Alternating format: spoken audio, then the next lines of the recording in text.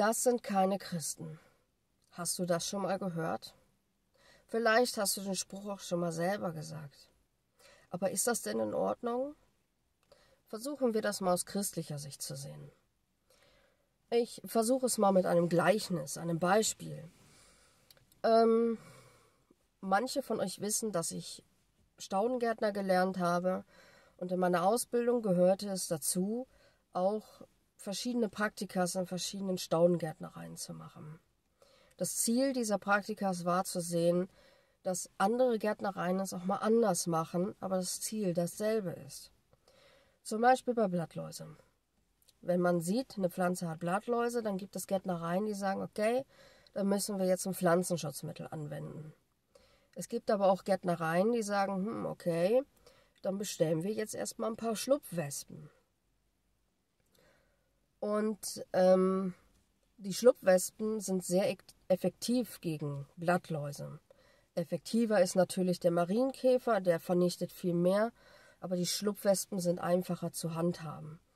Und im Endeffekt ist das Ziel dasselbe. Die Pflanze ist von den Blattläusen befreit, ob man jetzt die Schlupfwespen genommen haben oder das Pflanzenschutzmittel. Ich versuche noch ein Beispiel, aber ich befürchte, es ist kein gutes Beispiel, weil die meisten von euch Fußballfans sind und ich bin, glaube ich, der einzige Formel 1-Fan. Aber in der Formel 1 ist dasselbe. Die guten Teams wie Red Bull, Ferrari und McLaren, die reparieren ihre Fahrzeuge auf eine sehr professionelle Art. Und dann gibt es die hinteren Teams wie Williams oder Haas. Und wenn da mal was kaputt geht, ja, dann wird das mit Panzerband befestigt. Das habe ich in einer Doku schon mal gesehen. Aber das Ziel ist im Endeffekt dasselbe. Sie fahren meistens zwar keine Punkte ein für den Weltmeistertitel, aber sie kommen trotz alledem durchs Ziel. Naja, meistens, wenn sie gerade nicht das Auto in den Sand setzen. Aber sie kommen durchs Ziel und das ist, das ist der Sinn. Sie kommen alle durchs Ziel. Und so ist es bei uns im Christentum genauso. Ich habe es schon häufig erlebt, weil ich gucke mir alle, habe mir alle Gemeinden angeguckt. Ich habe schon gehört, so, ja, diese Gemeinde sind keine Christen, weil sie dieses und jenes nicht machen, aber ich habe nie darauf gehört. Zum Beispiel habe ich auch gehört, dass gesagt wurde, ja, diese Gemeinde sind keine Christen, weil sie nicht an Jesus glauben. Ich habe nicht darauf gehört, ich bin in diese Gemeinde gegangen, habe mir meinen Eindruck gemacht und festgestellt, doch, sie glauben an Jesus. Sie lehren ihn sogar und sie beten sogar in seinen Namen. Und ich möchte dich fragen, wer denkst du bist du, dass du oder jemanden, wo du hörst, der das sagt, wieso denkt ihr, habt ihr das Recht zu sagen, dass das keine Christen sind? Aus christlicher Sicht ist das tatsächlich falsch zu sagen. Warum? Weil Jesus uns in Matthäus 7, Vers 1 gesagt hat, urteile nicht über den anderen, ansonsten wird über dich geurteilt. Und Jesus hat uns gesagt, weil ich oft gehört habe, nein, das sind keine Christen, weil sie das und das anders machen oder das und das machen oder das und das nicht machen. Da hat Jesus uns auch was zugesagt. Jesus hat auch in Matthäus 7 gesagt, ich weiß den Vers jetzt nicht auswendig, ähm, bevor du dich über den Splitter deines Bruders, der er im Auge hat, ärgerst, kümmere dich erstmal um deinen eigenen Balken. Weißt du Bescheid? Und Jesus hat uns auch gesagt, in Matthäus 7, Vers 12, bevor du, ah nee, gar nicht, Entschuldigung, ähm, Jesus hat in Matthäus 7, Vers 12 gesagt, behandle deinen Mitmenschen so, wie du selber behandelt werden möchtest.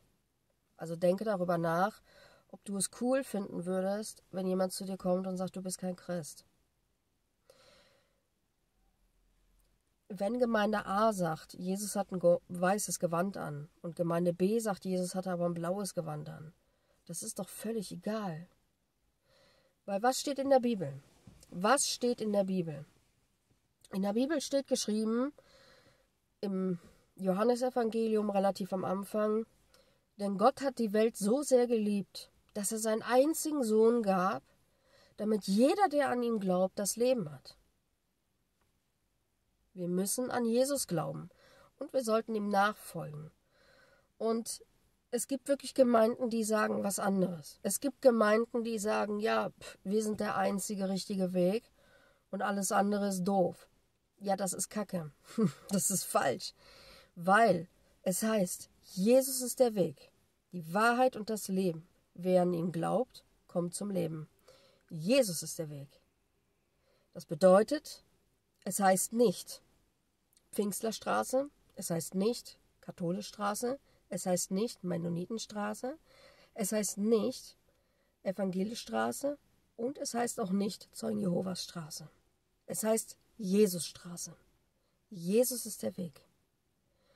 Und denke immer daran, der Mensch urteilt nach menschlichen Maßen, aber Gott alleine kennt das Herz.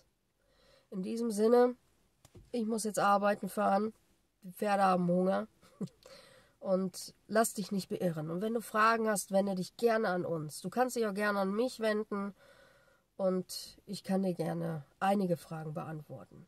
Ich gebe mir jedenfalls Mühe, dass ich das kann. Schönen Tag euch allen.